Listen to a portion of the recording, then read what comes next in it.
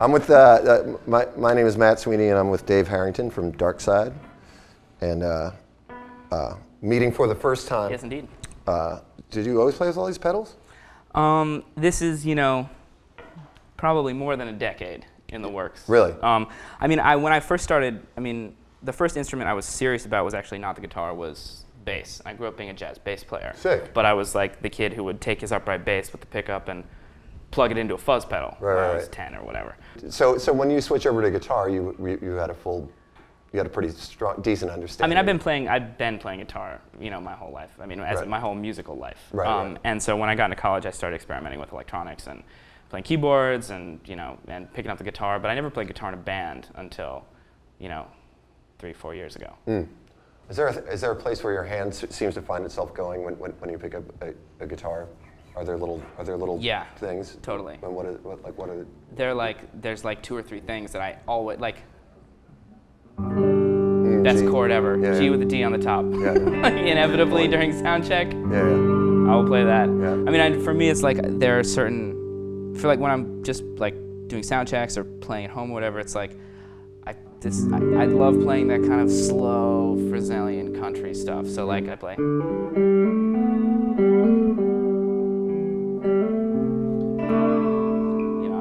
Those open chords all day. You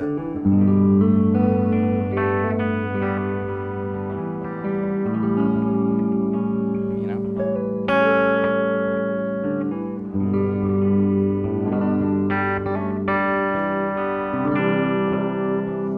And he's got the best turnaround, one of my favorite turnarounds.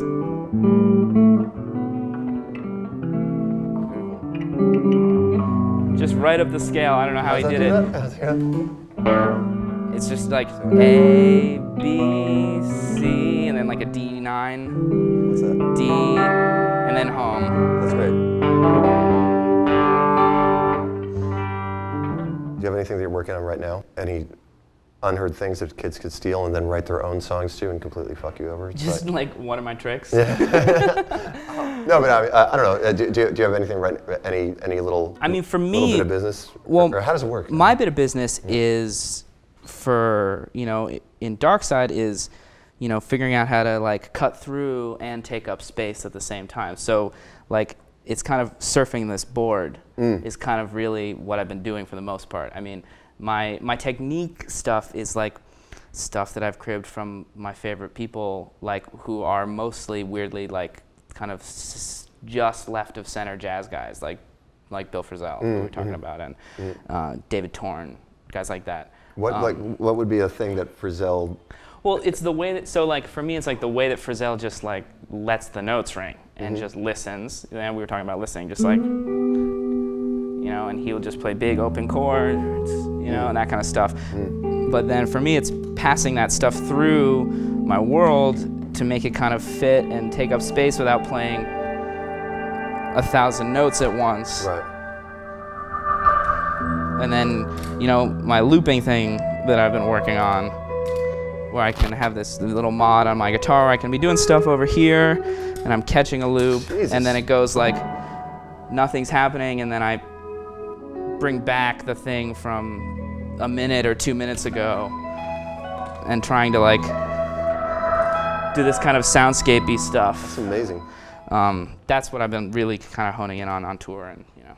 When did you start getting decent at that? As far as being able to catch loops and stuff like that. Um, you know, it's like this board used to be like this big, and you know, each of these, you know, without sounding like there's not that much gravitas to it, but they're all their own little instruments. And Sure. so the better I get with one, then it can kind of get on the, it earns its way onto the board when I know what it's gonna do. Um, For, for a dude like me, what would be a good place to start? I mean, not to just do product placement, so I won't. but No, fine, but this green this green thing is like my favorite thing in the world. and that's the that's the loop. That's the loop pedal. I actually had my guy at Main Drag mod my guitar so that I'm controlling the volume of the loop with this other knob so I can do stuff like I can be cooking along and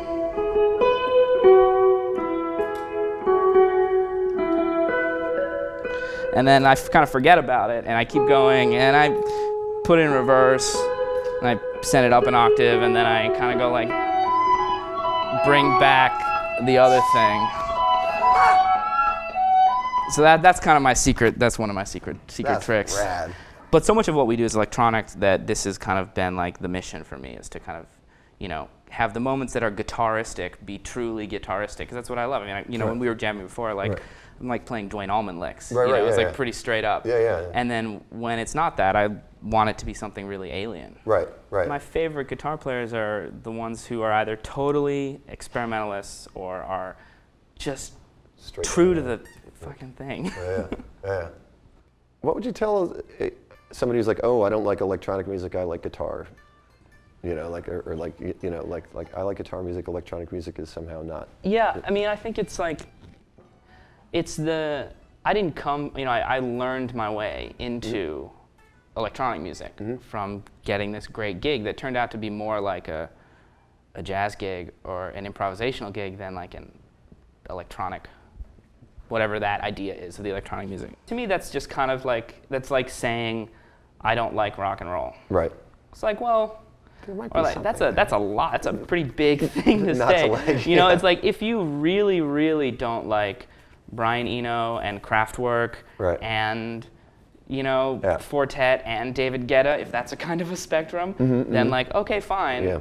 But like I think that um, Kind of like not liking pizza. it's kind of like not liking pizza. It's like you know, unless you're like allergic to it, unless Right. you can't eat cheese, like you know, you'll find the topping you like. Yeah. I mean, there's so much.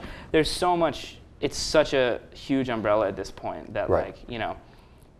Or, or and I guess conversely, how would you talk to somebody who's, or I mean, I don't know because I'm not in this world, but is there a, a feeling of guitar being an archaic instrument fr- from the electronic side?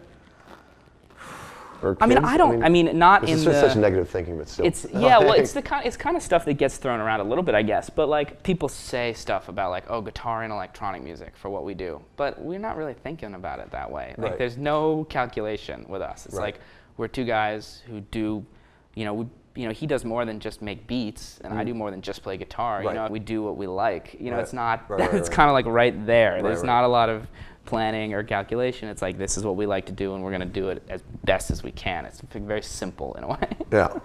What's this little blue guy? I was. Um, this is I forget who. There's this somebody. I think they're based in San Francisco. They make these little controller boxes, and I have mine hooked up to um, this. Is, is that that's like a bypass? Is it a bypass? No, it's um, it's I have it hooked up as a kind of an, like I put it in the expression pedal slot, so it'll go. Well, I mean, what this on this setting I have, it does this thing, or I have this big washy reverb drone thing, and then I go, and it changes the size of the room, and then it's like chilling out, and I can keep droning away, and then I go. Oh,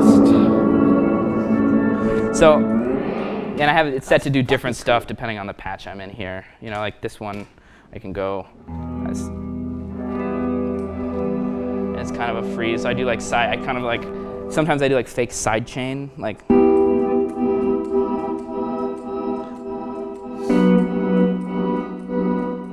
That kind of stuff. Did Adrian Belew or Robert Fripp make an impression on you? totally. Yeah.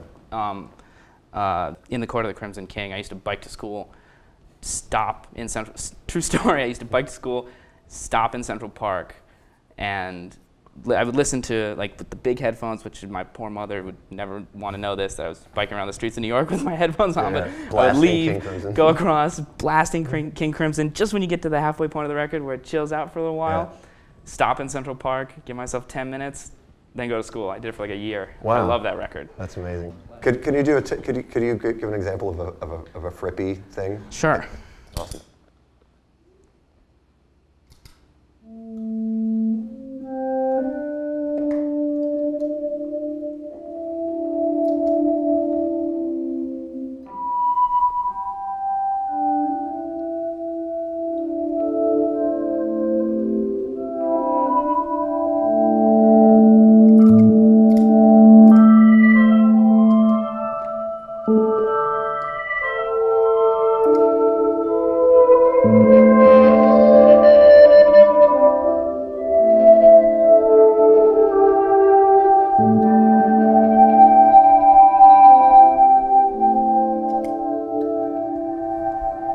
Dude, thanks.